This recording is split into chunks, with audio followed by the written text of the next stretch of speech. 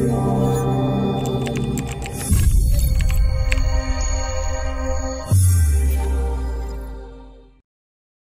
my name is Nadia, and I'm the author of this book, The Crystal Quest.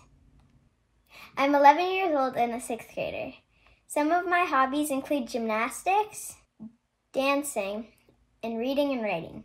My teacher said that every Friday we'd make a short story for fun, and I started making mine.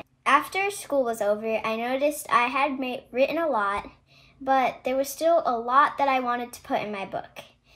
Me my teacher and my mom worked together and we put my work on a Google Doc. Over the summer, I would work on it. After I finished, my dad asked me if I wanted to publish it. I was very excited because I had never published a book.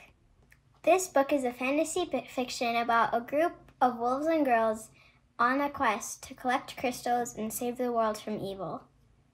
It was inspired by lots of book series like Wings of Fire and Keeper of the Lost Cities. That's all I have to say about my book.